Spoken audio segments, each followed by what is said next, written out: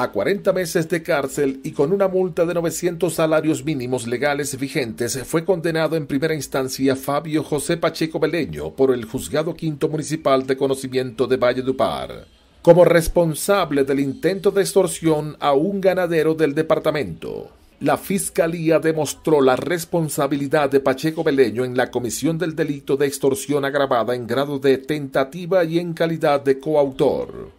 Los hechos que dieron lugar a la sentencia se registraron en marzo del año 2019, cuando un reconocido ganadero de Mandinguilla, zona rural de Chimichagua, Cesar, empezó a recibir llamadas extorsivas en las que un sujeto que se identificaba como Felipe, comandante de los Paracos, le exigía la suma de 15 millones a cambio de no declararlo objetivo militar y atentar contra su propiedad, cifra que fue rebajada a 7 millones de pesos.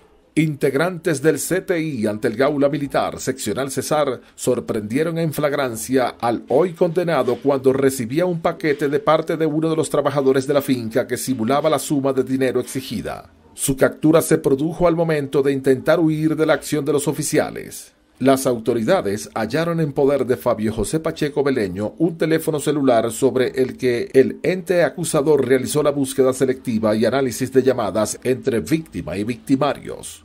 Además se logró la entrevista al trabajador e interrogatorio al capturado, quien finalmente admitió su participación en los hechos. El 9 de octubre de 2019, Pacheco Beleño suscribió un preacuerdo con la Fiscalía y con la víctima y aceptó la conducta imputada. La Fiscalía General de la Nación hace pública esta información por razones de interés general.